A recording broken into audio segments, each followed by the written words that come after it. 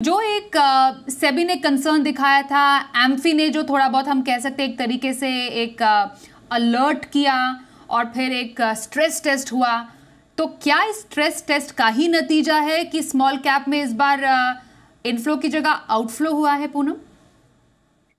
स्वाति, बिल्कुल ये जो सेबी का जो क्रैकडाउन हुआ स्मॉल कैप पे और बड़े बड़े शब्द यूज़ करे गए स्मॉल कैप्स के लिए कि बहुत फ्रॉथ है और ओवर वैल्यूएशन है उस वजह से एक इन्वेस्टर में पैनिक देखा गया।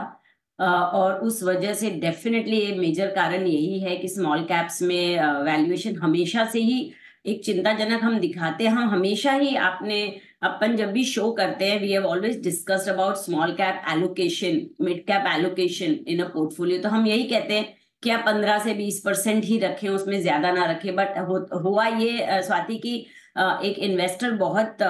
इसमें एक्साइटमेंट में कि सत्तर परसेंट तक रिटर्न्स बन रहे थे पिछले दो साल में तो उन्होंने बोला हमारा fifty percent portfolio sixty percent portfolio small cap mid cap में करिए, जो कि as a advisors as a as a distributor हम मना करते हैं कि ये इतना सेक्टर में एक कैटेगरी में निवेश नहीं करना चाहिए, क्योंकि ये स्मॉल कैप है ही ऐसा एक रिस्की मतलब the most aggressive kind of the category